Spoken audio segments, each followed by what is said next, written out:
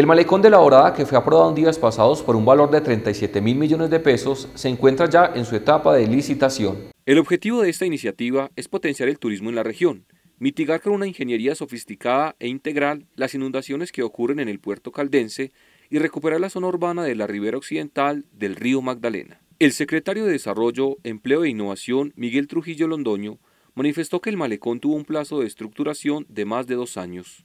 Esto se hizo en compañía de Corpo Caldas y los estudios y diseños fueron realizados por la Universidad Nacional para lograr tener un proyecto muy consolidado, con el fin de que la obra tenga una durabilidad de aproximadamente 50 años, explicó Trujillo. Dijo además que se darán 1.200 obras de mitigación alrededor del río y que con este proyecto se ha dignificado a la comunidad porque se han reubicado 27 familias que estaban en alto riesgo. Igualmente, el secretario explicó que el actual gobierno deja el proyecto contratado y en ejecución, y que la ciudadanía de La Dorada será veedora del cumplimiento de la obra.